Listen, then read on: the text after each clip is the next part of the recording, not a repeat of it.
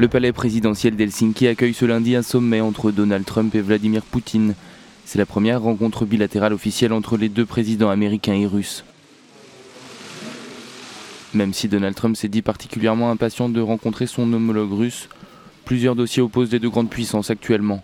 L'affaire de l'ingérence russe dans l'élection américaine de 2016, l'annexion de la Crimée par la Russie, la guerre dans la Syrie de Bachar el-Assad ou encore l'affaire Skripal qui a conduit à des expulsions massives de diplomates à Washington et à Moscou.